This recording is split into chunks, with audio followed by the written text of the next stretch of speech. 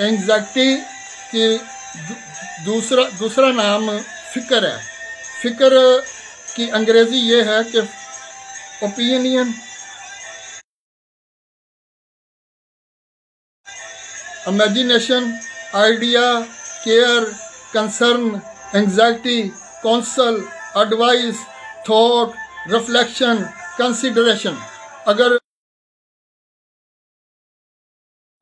अगर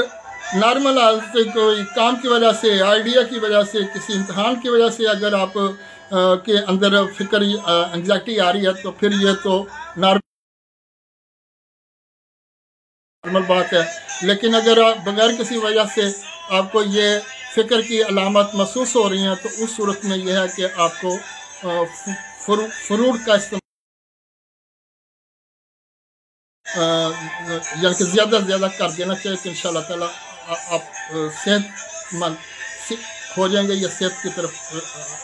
आ जाएँगे।